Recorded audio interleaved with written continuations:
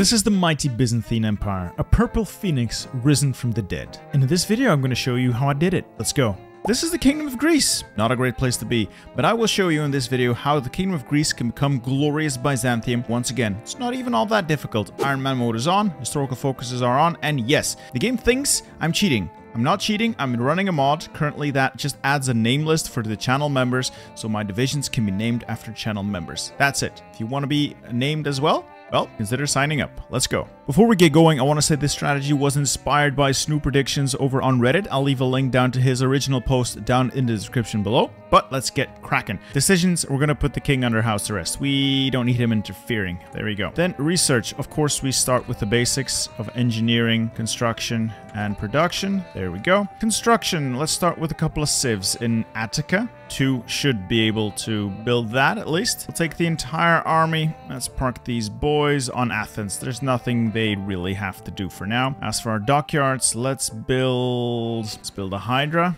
A single one of these early destroyers will do. After that, we'll be able to build better destroyers. As for focuses, we are going to devalue the drachma we have a very poor economy. We're gonna probably make it worse before it gets better. So Greece, not in a great place.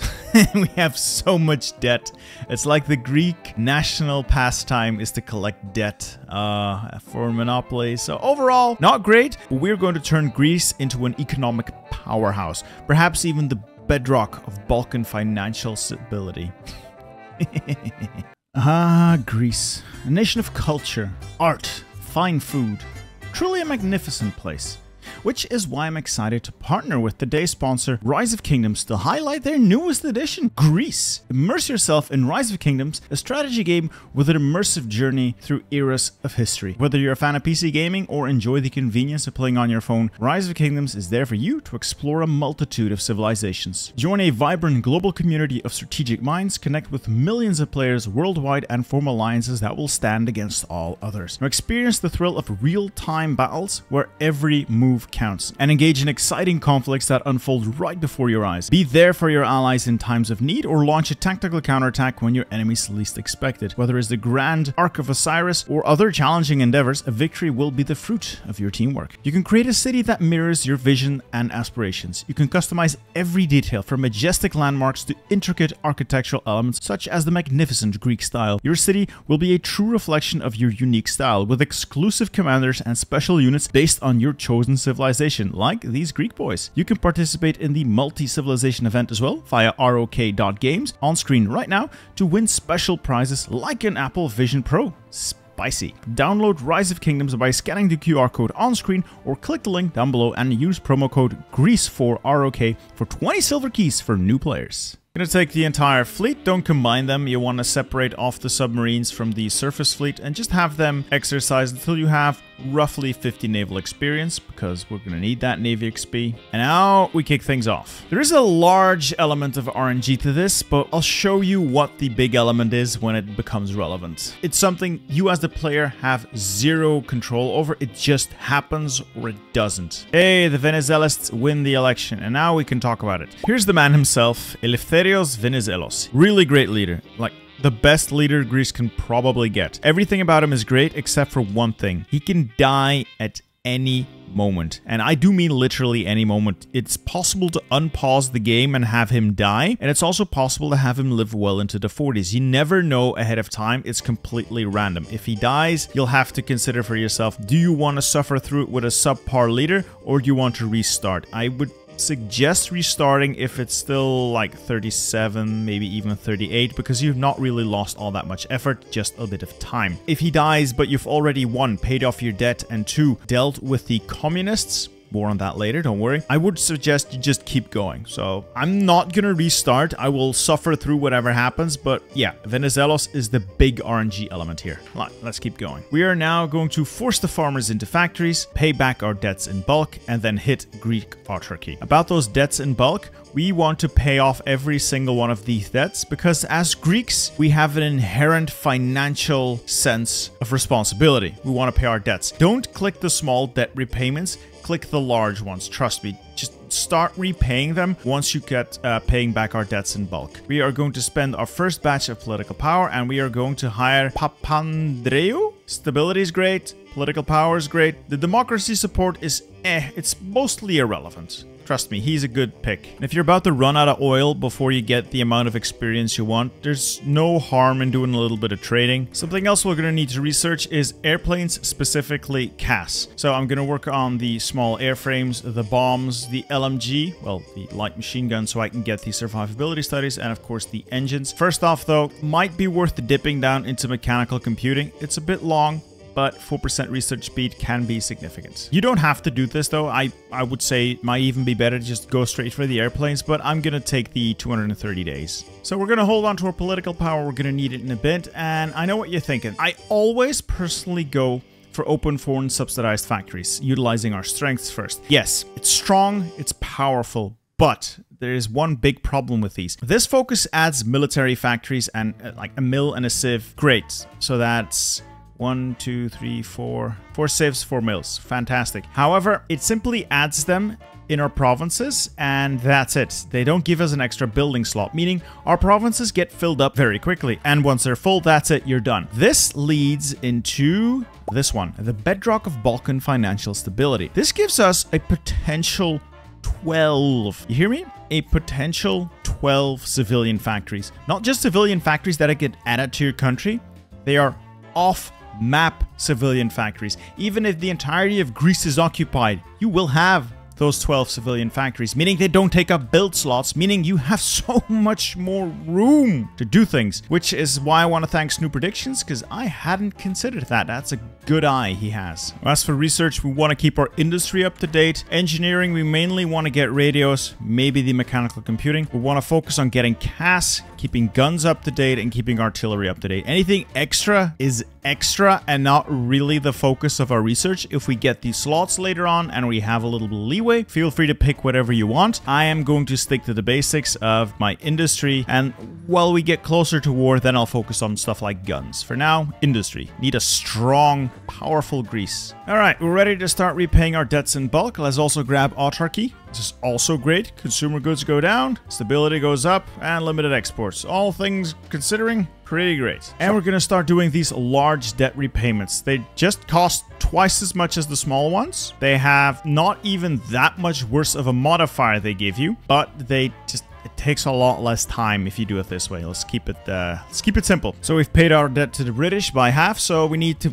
pick this twice for every country. Two large debt repayments for each country for a total of, let's see, that's 100, 200, 300 political power, and we'll be done with our debts, which is going to be great because these debts are killing us. All right, we also have sufficient naval XP. Let's put everybody in the port for now, and we're going to go into the officer corps here. We're going to pick Spirit of the Navy and flexible contracts. It's cheap, it's easy, it's great. We're gonna go into our ship designer and we're gonna pick the Royal Hellenic Naval Shipyard because this is going to give us extremely cheap ships. Their range is going to be horrible, and the capital ships aren't going to be all that great, but they'll be cheap, and we'll be able to build a lot of them. We can always switch out later for the other one once we want to start building actual big boats. Till then, cheap ships will have to do. Speaking of cheap ships, we're almost done with that destroyer. We're going to build new destroyers to uh, follow that up with. We're going to design a new 1936 destroyer. It doesn't have to be fancy. What I like to do is add a gun, fire control, torpedoes, best engine I can fit, and this is it. it it's not world changing. It's not the greatest ship in the world, but it will do. It has to get in the way of enemy torpedoes, and that's what it's going to do. And we're going to build as many of them as we can for now, because we will need a little bit of naval superiority to save our shores. While we're looking at the production queue here, let's also switch that up so we can be ready for the future. What I'm going to do here is add a little bit of support companies, so two support equipment, four, maybe five on guns, about three on artillery, and everything we get after that we're going to add to CAS. I'm going to use transport planes like Snoop Predictions did in his post to make it clear for you guys. This is a placeholder. The transports are a placeholder. This will be CAS. So this is what your production is going to look like. This is going to fill in as we build some of those delicious military factories. Now, on to the national focuses. Mining operations, good-ish, three mills. Not terrible. Tobacco industry, however, relations boost, mm, not that impressive, but four extra civs. Four civs, great. Four civs will mean a booming industry. Let's also get a high command going here. Papagos can command, and the general will be either one. Marcos Dracos isn't too bad, and Katsi...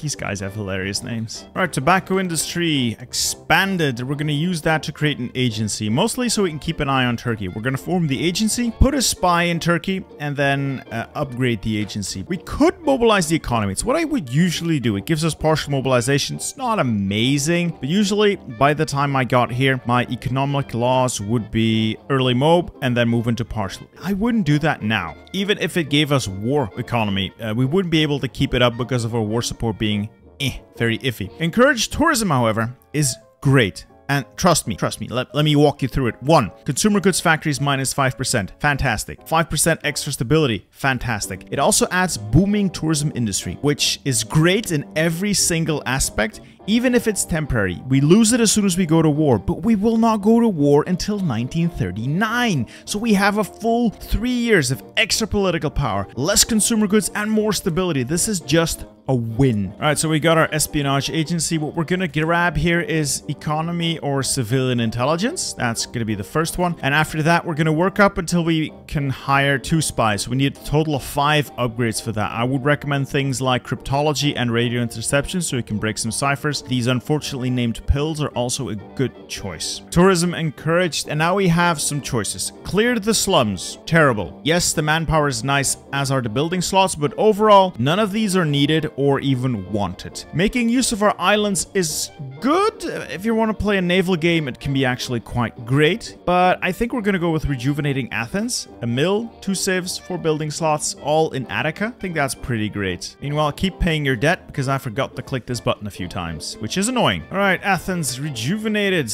Back up here, fiscal responsibility. That's what Greece is all about. Fiscal responsibility followed by the bedrock of financial stability. And with that last repayment to the Italians, we will be done. And here comes fiscal responsibility. Fantastic. Now we're going to move on to the big focus, the bedrock of Balkan financial stability. That's us. That is Greece in a nutshell. We're going to start that focus. We're going to keep the game paused for a little bit. We have things to do. We are going to improve our relations with pretty much everybody. We're going to go on a massive PR campaign. Improve it with Albania, Yugoslavia, Hungary, and these three, we're going to let the relations tick up to 65 so to give us some leeway. Then we're going to go to Turkey, Romania, and Austria. I know, they're not a Balkan country, doesn't matter. Those three, we're going to let relations tick up to 90. Again, to give us some leeway. And then finally, Czechoslovakia. Again, I know it's not a Balkan country. We're going to improve relations up to 100. And we're going to keep an eye on that because currently we're bleeding political power, but that is our next move. We're going to improve those relations. It, it's big.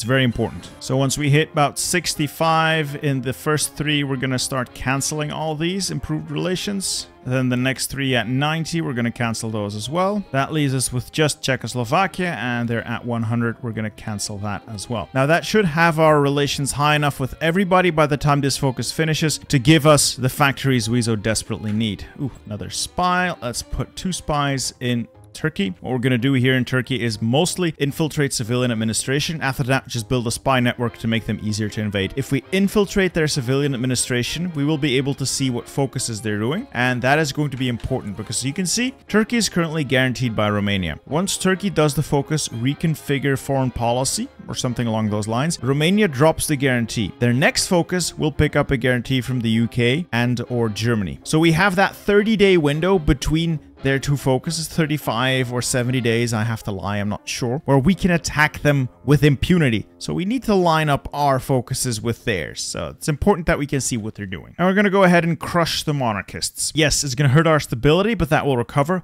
The important thing is it will improve our war support by a lot, which is important, even though it's very low right now. This man will not be around for much longer. All right, this is about to finish. Let's see here. We have 18, 4 from trade, 14 owned. So we own 14 factories, 14 civs. Let's see what it becomes when this focus finishes. Bada bing, bada boom. We now own 26. I think that was a fair deal, don't you think? That was a fair fair deal. All those available factories are going to go straight into military factory productions. Build as many mills as humanly possible. For now. At least for now. We're going to be building a whole, whole lot of mills. We're also going to now crack down on foreign monopolies because of course we are. Considering we have a fair amount of political power now, I could go with the improved worker conditions, but I think the anti-communist raids are going to be fine. If you can't do them because their support has dropped too low, by all means get improved worker conditions. You'll need the stability moving forward. Foreign monopolies are cracked down on. We're also going to hire an industrial concern here, Neorion, mainly because of the extra construction speed for military factories. That's fantastic, but all the other bonuses are also very nice. The additional political power we'll hold on to, we might have need for it in a bit. Also, good idea to get the CAS designer, Faliron. It speeds up the research, of course, but also the extra ground attack is fantastic. But again, you need to have the political power available. This is one of those picks you can avoid if you don't have the PP. The other things are more important. This is a nice to have. I'm lucky because Venizelos is still here. You might not be. All right, we got the Academy of Athens and it's time to turn towards war. We're to grab the Hellenic Armed Forces, the Hellenic Army, and the Hellenic Navy, and then we'll evaluate where we are. The extra research slot that just freed up, you could use it for the army stuff if you're behind. I'm going to use it for a nice, juicy little cruiser because that is what was recommended to me. Setting a lot of political power here. About time we start doing something about our economy. We're to move up to partial mobilization. It's to depend on your war support at this point. If Eleftherios Venizelos is dead by now, it's possible you're not quite at 25% war support, and in that case, you might have to, well, find war support elsewhere. All right, we got the Hellenic Army, now for the Hellenic Navy. We got a nice amount of army experience, and we're going to use that. We're going to go into the Spirit of the Army and pick Relief of Command. More XP gain, fantastic, but the Army Advisor cost is even better. That means we can get for instance, the Army Maneuver Genius for half off. He does leave once we flip Fascist, which is bad, but until he does, he gives us 0.4 daily army experience gain. So he is our next political power pick. He will allow us to refit our armies. Got those fancy new cruisers. Let's uh, design one. I like cruisers, even if they're not always the best. I just like heavy cruisers to add a little bit of uh, capital ship fighting capabilities. Plus, they're really great if you want to deny Turkey control of the seas. I'm not telling you to make this design. Absolutely not. I just felt like it. I have no idea what the optimal design for the ships is. Alright, so I don't know. I just feel like making this one. We're to build a supply hub here at the outer point of Thrace. And for future wars, I would recommend building another one around here-ish. And of course, connecting them all up to your railway network. And that railway network also better be upgraded. Currently, it's level 2 and this fresh stuff is level 1. Once we're past that point, we need to have these things at even higher levels than they are right now. But for now, we are still building mills. Let's also put in the CAS I want. So add bomb bomb locks, add more bomb locks, add the best engine possible, engine 2s, and if you have it, add armor plates. I haven't researched them yet, I'll get them eventually, but for now I can start making the unarmored version of my CAS, basic close air support. Let's hire Plastiras. Alright, we have the Hellenic Navy. Now we start the political side of things. We're gonna bring home the exiled Republicans, compromise with the monarchist, and take a straight shot down to resurrecting the Megali idea, followed by horror and fear. That's right. We're gonna go to war. Now, as we get more and more military factories, there will be a point where we need to start trading for things simply because we're gonna need to. I would recommend you do that, uh, otherwise your economy is gonna go down the gutter. That is the downside of sticking to limited exports on the one hand and the Schacht plan on the other. We're gonna send a lot of our stuff to uh, to market. So that's unfortunate, but it is still better than the alternative. Look at the factories we have though. We have so many factories available. Militarizing in rapid, rapid speed. All right, we got some exiled Republicans. Now we compromise with the monarchists. The commies are going to be hostile. The monarchists are going to be friendly. Fantastic. Now, since we do still have Venizelos, and I know I'm going to get more political power while I wait, I'm going to make an additional picket. I'm going to choose Pyrkal as my infantry equipment designer. Again, this is a nice to have, but not needed for the guide. I'm going to pick it now because I know it's going to be beneficial to me and I can afford it. You don't have to. Same with the CAS. You don't have to. All right, we've compromised with the monarchists. That means we can hire Metaxas Perfect. This is our infantry division. We're going to keep this as our baseline unit. We might change it a bit, but for a normal frontline unit meant to hold a line, this is perfect. Now we are going to duplicate this and create a more offensive version of this. And what we're going to do is simply add artillery. One, two, three, four. So a 30 with juicy thick boy. We're gonna add, of course, members to it. There we go. These will be the members. And we're gonna do the same with the mountaineers. We're gonna add one, two, three, for artillery. They're 28 with. I would very much like to add another set of mountaineers, but I cannot, so I'm just going to add some infantry instead. Not as good, still okay. We can change that out to an actual mountaineer later on. It has to do with special forces cap, so don't worry about it too much. And then our cavalry, we're going to take out the cavalry recon and add in support artillery. Now, how are we going to fill out our armies? We're going to need about three mountaineers. Then we're going to need about 10 of these uh, frontline units which we almost have. We're going to train one more. We're going to need about four of these shock troops that we just designed. There we go. All of these, of course, on high priority. And then we're going to need roughly seven cavalry divisions. Uh, we have the one already.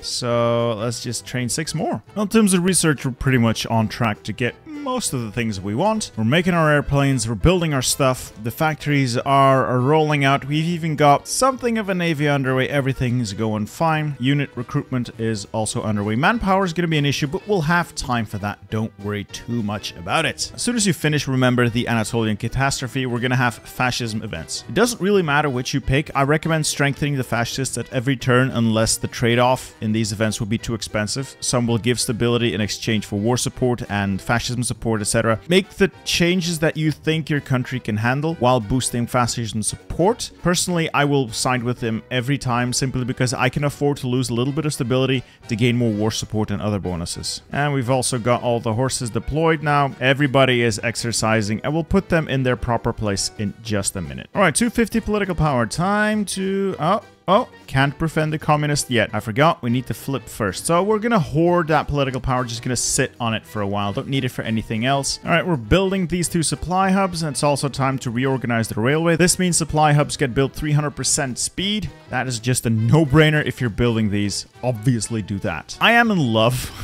with superior firepower. I know, I know. And I'm going to hire Alexandros Papagos here. Uh, he's a little bit cheaper. I'm going to spend a little bit of my army experience switching over to superior firepower. 1938, and Venizelos has finally passed away. It took him long enough. We are incredibly fortunate to have had him sticking around for so long. He has done us a great service. So we lose all of his perks, which is very, very unfortunate. Plus, we lose 5% stability. This is the event that can happen day one, unironically, or it could happen somewhere in the 1940s. This was a very lucky run. We had him until 1938. His replacement's not terrible, but not nearly as great. We're going to take all of the Mountaineers and put them on the border here, along with all of our special boys, Ortagmata. That makes seven divisions here, ready to storm towards Istanbul. Then we're going to take about four of these guys. We're going to park you on Samos and well the rest of the islands here. So these two well it's actually easier. I hate having to draw an order here so we're gonna do it this way. Then we're gonna take two divisions put them on Mit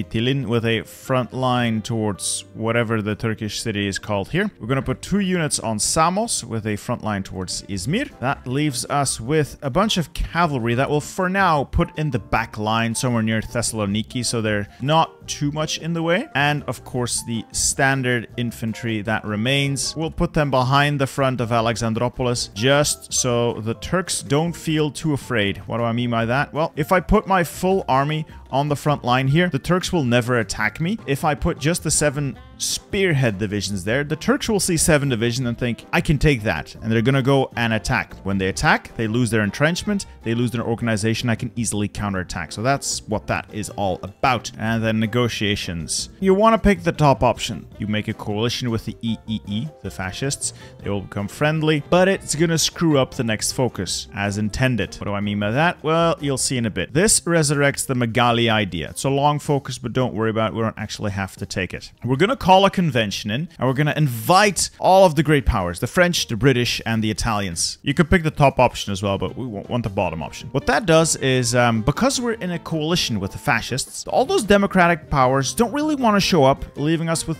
just Italy, which is a bit embarrassing if only Mussolini shows up. So we're just gonna cancel it. That's that event gone. Now, as a result of that, the focus bypasses. Oh no. Well, guess we're on to horror and fear. In 60 days, we are going to declare war on Turkey. And Turkey has, well, 56 days to go before they cancel their guarantee. So I have a window of about four days there. Well, no, we have a fairly broad window. Anyway, as a result, our focuses line up perfectly to declare war on Turkey while they don't have anyone watching their backs. There we go. Because we screwed up the Megali idea and the convention, the fascists aren't happy. They launch a coup, and either we fight them, terrible, not something you want to do, or we answer for our failures and give up. The Byzantine or the Byzantinist fascists will form a government. That is the option we want, baby. Bada bing, bada boom, and this, um, I don't know, Dick Dastardly fellow is now in charge. He's not terrible. It's not great either. Fascist, giving us access to extensive conscription. Yes, please. And war economy. Yes, please. He also gives us access to Bada bing, bada boom, befriend the communists. And just like that, our country is in way better shape by the time we are ready to actually fight the Turks. Everybody is just about trained. Oh, right, before we forget, we do lose relief of command. That gets replaced by accomplished heritage, which isn't great. So we're gonna pick state serves the military for extra political power gain. I should have done that first, but I am a bit of an idiot. That would have given me cheaper extensive conscription, but it is what it is. Learn from my mistakes. So with war looming, let's take the Navy. We're going to stop the exercises, put everybody on strike force in the sea zone surrounding Greece so Turkey can't sneak in a naval invasion. One fun thing you could do is justify on Italy for one of their core states. If you uh, justify for a core state, you don't lose the war goal. This gives you the opportunity and the option to take out Italy next, alongside Germany, actually. So this is a little trick I like to play, but if you just want to reform Byzantium, you don't have to. But I,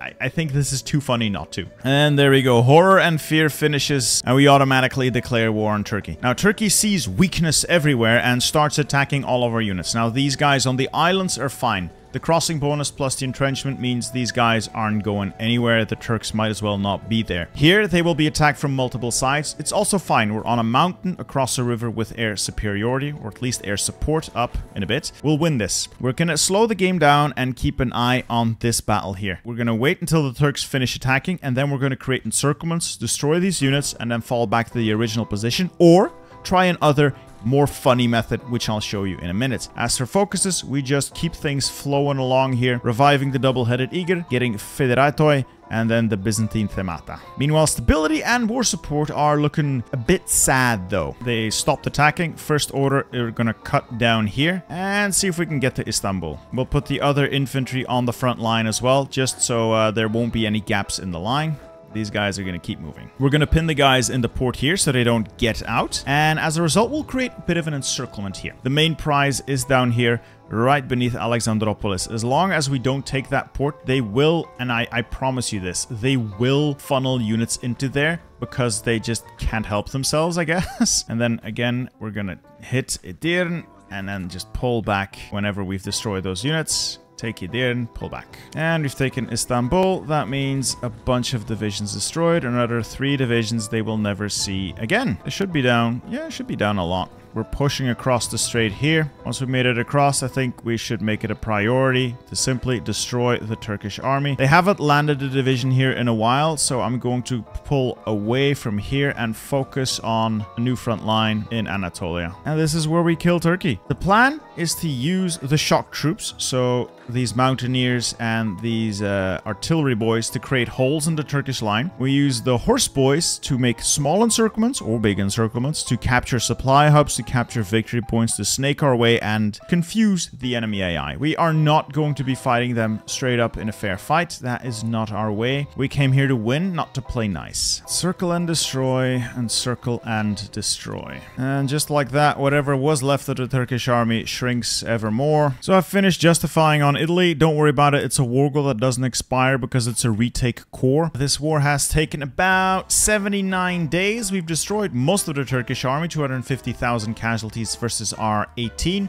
They're down to at most 17 divisions. So encircle and destroy really is what you're aiming for here. Make wide encirclements, destroy their armies, just go around them. There it goes, Turkey. This is simple. We simply take their entire fleet, which isn't huge, and then we annex everything. Bada bing, bada boom, we have a nice juicy National Union of Greece. And we can click the button, revive Byzantium, gain cores on all Greek and Turkish states, and move the capital to Constantinople. Let's click that beautiful. You can sit here and think, all right, we're done here. We can join the Axis, uh, gobble up what we can in the Balkans, destroy the Soviet Union, grab our pound of flesh there, and fight the Allies, and then turn around, stab the Axis in the back, and take it all. Or we could go our own way wait for the Axis and allies to start slogging it out, and then start taking stuff. Without joining a faction, just start attacking the Axis and taking stuff as the alliance falls apart. The choice really is yours. I want to have a little bit of fun. I want to see if we can form all of Byzantium and I do mean all of it, so we're gonna go to the Byzantine Themata and see if we can restore the empire through all of its decisions. I'd say this country is looking better than it ever has.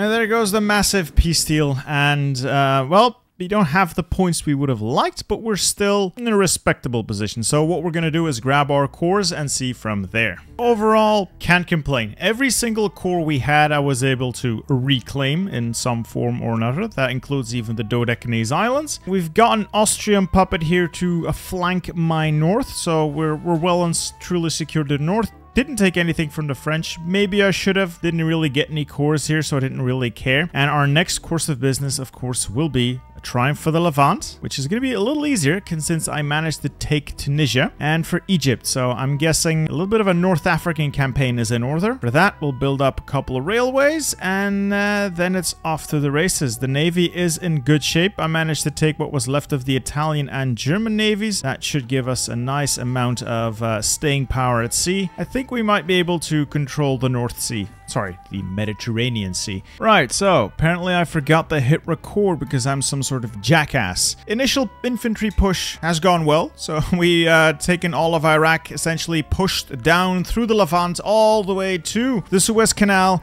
using the mechanized members. They've done well, shock troops pushed right through, and then we got stopped at the Suez. Problematic. I'm gonna try and bypass it with a naval invasion, but it's gonna be tough. I'm getting my cheeks clapped in North Africa. America American push through Tunisia has decimated my forces here, but I am holding, I'm trying to reconstitute my efforts. Air is a nightmare. Despite my early focus on air and continuously building air, the allies just overwhelm me. Nothing I can do to keep up. I have not nearly got enough rubber to do this. I'm trying to build more railways, trying to build more synthetics. I need a lot more synthetics just to be able to get a little bit of rubber going, but it's it's probably too little too late. On the bright side, I only need Egypt and Tunis now. Egypt mostly, because the Levant is ours, at least. Alright, I wasn't looking, and disaster has struck terribly. I've been naval invaded by a whole lot of British. They're invading everywhere. I have pretty much no reserves, except for maybe if I get the mechanized to go back home. That's really my, my only option. I am not winning.